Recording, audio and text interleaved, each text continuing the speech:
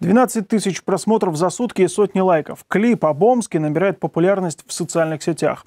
Сразу же появилась версия, что своеобразную рекламу заказали в мэрии. Кто-то считает ресурсы, потраченными на производство, пустыми тратами. Кто-то, напротив, приятно удивлен позитивным отношением к родному городу. Екатерина Хлемьязьева встретилась с автором и участниками проекта. Они рассказали ей, почему решили снять этот клип.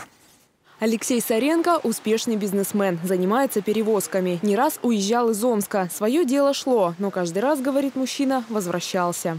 Может быть, для любого человека это будет э, хорошим опытом э, съездить и на расстоянии сравнить один город, другой, что для тебя ценнее, что для тебя больше любо.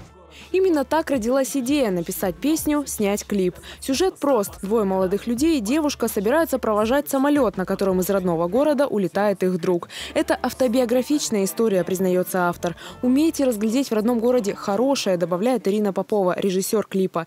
Ведь реальный Омск отличается от того, что о нем пишут в новостных лентах. Это милые сердцу уголки и родные люди, и возможности. Я не родилась в Омске, это не моя родина. Я сюда приехала, я приезжая. Но э, этот город стал родным. В этом городе действительно живут мои друзья, здесь живет моя семья.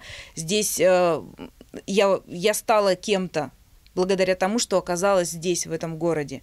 Исполнитель главной роли Сергей Сизых, единственный профессиональный актер, как и режиссер, тоже не амич. В проекте участвовал бесплатно, потому что успел, по собственному выражению, прорасти в омскую землю.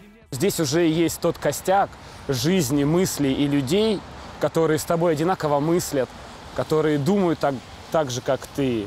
И, наверное, поэтому ты здесь остаешься, живешь и работаешь.